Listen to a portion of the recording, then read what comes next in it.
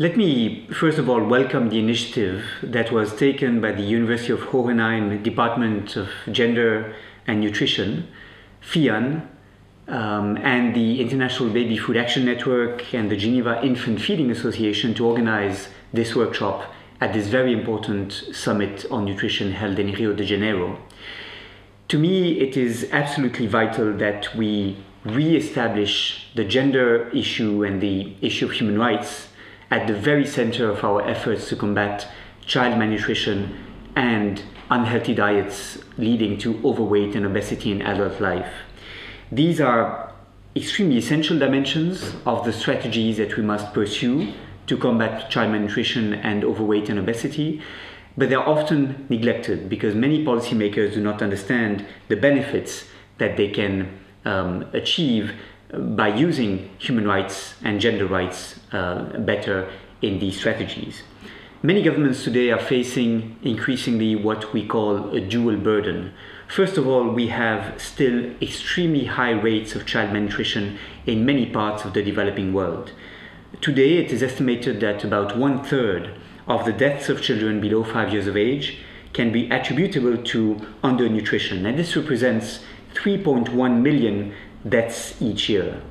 34% of children in developing countries, a total of 186 million children, are today suffering from stunting, a low height for age, and the percentages are even higher in sub Saharan Africa, 42%, and in South Asia, where 48% of children are um, affected by, by stunting, the most common indicator for chronic malnutrition of children.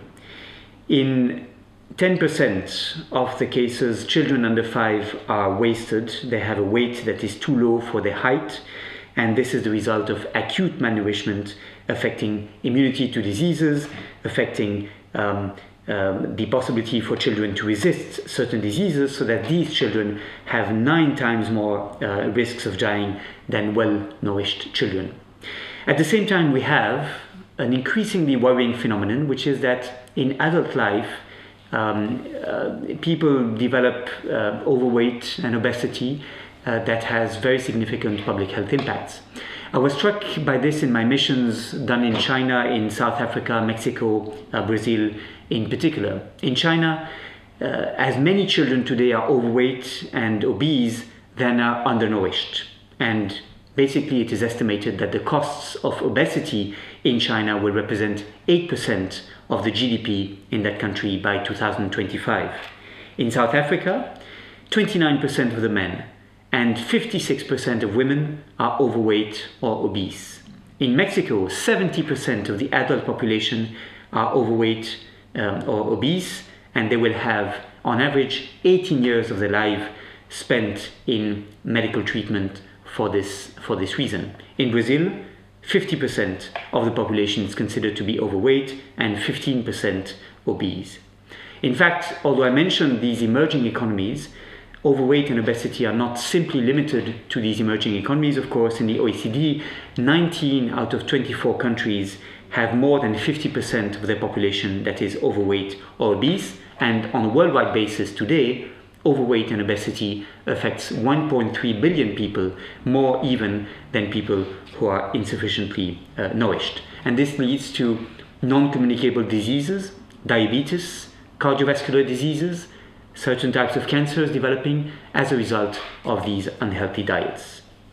Now, the gender and human rights dimensions are absolutely vital, in my view, in addressing these challenges, and this is why this workshop is so important.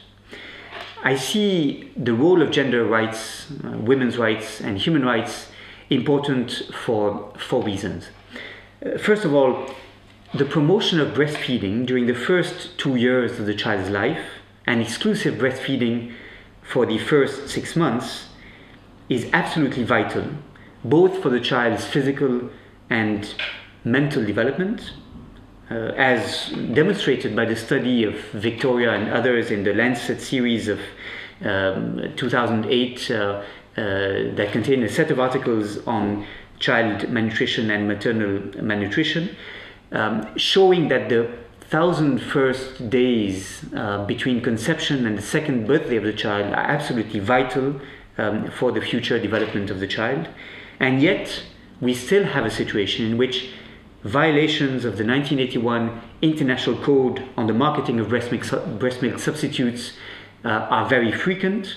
In fact, the World Health Organization has uh, documented that the International Code on the Marketing of Breast Milk Substitutes has been implemented in 103 countries by regulation, but in only 50% of these cases are there adequate compliance um, monitoring mechanisms, and in fact, only 37 countries of these 103 countries have in place adequate monitoring and enforcement mechanisms that can combat violations of the code. So, breastfeeding is hugely important, but violations of this code that seeks to support it are very widespread still. In addition, very often breastfeeding is incompatible with women's employment as a result of a lack of accommodation measures in the workplace, and this too is something that governments should address more in the future. A second reason why women's rights and human rights are important to combating child malnutrition and um, unhealthy diets is that social protection interventions, such as cash transfer programs, are particularly effective when they benefit women as a matter of priority. I could see firsthand, for example, the effectiveness of the Oportunidades program in Mexico. Uh, this has been the new name given to the Progresa program, initially um, uh, inaugurated in 1997 in Mexico. Oportunidades is a conditional cash transfer program that covers today some 6 million households in Mexico, protecting 9.6% of the population from falling below poverty line. It is absolutely essential um, in, in Mexico, the function that this program fulfills, and it is a program that is directed towards women as a matter of priority. Similarly, this is what the Bolsa Familia program has done in Brazil, and this is what the Child Support Grant in South Africa aims to achieve. It has been shown by studies that women's um, ability to make choices about how the household budget shall be spent has significant benefits for the food security of the household and particularly for the children's health, education, and nutrition needs. A child's chances of survival, it has been estimated, increase by 20% when the mother controls the family budget. So, for this second reason, too, focusing on women's rights, on empowerment of women within households, on choices being made by women as to how to spend the family budget are absolutely vital in improving the nutritional condition of children. Thirdly, framing the question of undernutrition and of malnutrition in human rights terms leads to emphasize the dimensions of accountability and the duties of governments to take action against insufficient or inadequate uh, nutrition. In many cases, governments make promises that they will address these issues seriously. But in many cases, the promises that are made are not kept. And we need to improve accountability of governments in monitoring the implementation of the action plans that they adopt. It is, in my view, the role of civil society organizations to hold governments to account and to ensure that the promises do not, um, are not forgotten. It is also the role of legislation to be adopted by parliaments to define the benefits as rights um, that individuals uh, may claim before independent bodies and to reduce the risk of discrimination by having a human rights approach to social protection programs. Fourth and finally, the reason why human rights and women's rights matter to combating undernutrition and inadequate nutrition is because the right to adequate food also requires that we opt for solutions that can get that can have a lasting impact on um, reducing food insecurity by empowering local people and by identifying solutions that will be sustainable in the long term.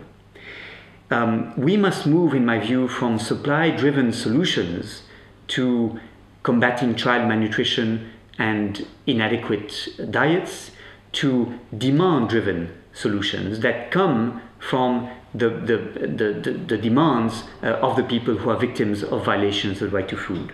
And that means, in particular, identifying the linkages between nutrition interventions focused on the short term imperative of saving lives and the long term poverty reduction and development um, strategies that must be pursued. For this reason, we must support increasingly local agri food systems in their ability to provide local populations with um, um, a large uh, number of uh, food products, uh, varied diets that can respond to the nutritional needs of the people, and we must invest in local producers to provide the food that these communities require for um, their ability to lead healthy and active lives. And I believe that nutrition interventions should be um, based on local systems um, improving their functioning, should invest on local production, and should link local producers to local consumers as a means to achieve um, adequate diets in a way that is sustainable and that is not dependent on external interventions. So, for all these reasons, I would like again to welcome very warmly the initiative of the University of Hohenheim Department of Gender and Nutrition, FIAN, the uh, Geneva Infant Feeding Association, and IBFAN that have sought to bring this message forward in Rio de Janeiro that women's rights and human rights are absolutely key to succeed in strategies to reduce food insecurity and child malnutrition in particular. And with this, I would like to thank you and wish you all a very productive um, uh, working session.